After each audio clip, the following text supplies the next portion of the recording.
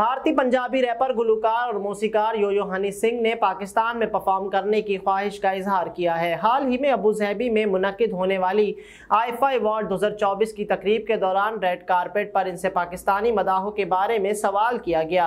Social media पर viral video में हनी सिंह ने कहा कि इनके पाकिस्तानी फैंस के लिए पैगाम यह है कि वो दुआ करें कि वो जल्द ही पाकिस्तान में परफॉर्म करने आए।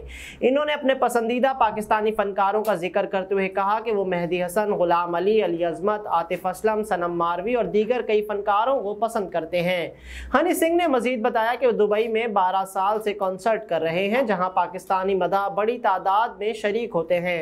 तहम इन्होंने कहा कि इनके वो फैंस जो पाकिस्तान में हैं और दुबई नहीं आ सकते, वो भी इन्हें पाकिस्तान में देखना चाहते हैं।